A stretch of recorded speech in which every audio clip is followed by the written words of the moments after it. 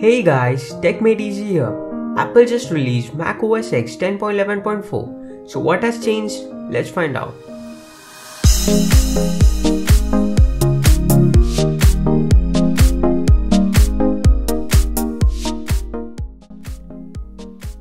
First off, let's talk about the performance. This update feels solid and is quite fluid all around.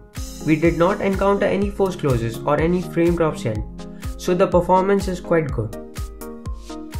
OS X 10.11.4 offers password protected notes in the Notes app. You have to right click on a note and type in the saved password in order to lock it.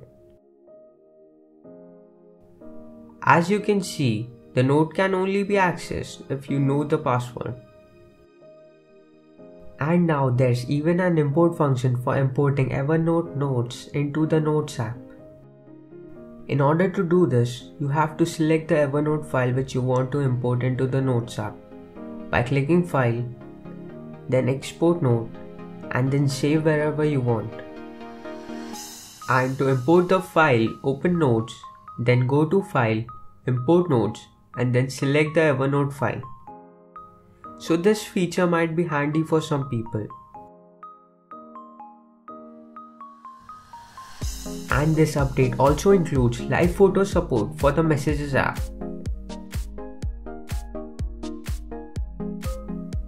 Now let's try Geekbench 3 to see if there are any score changes from Mac OS X 10.11.3.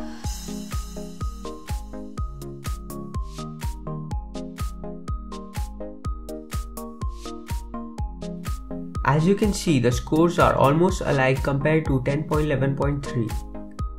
OS X 10.11.4 appears to focus largely on under the hood bug fixes, security enhancements, and performance optimizations with a few noticeable outward facing changes.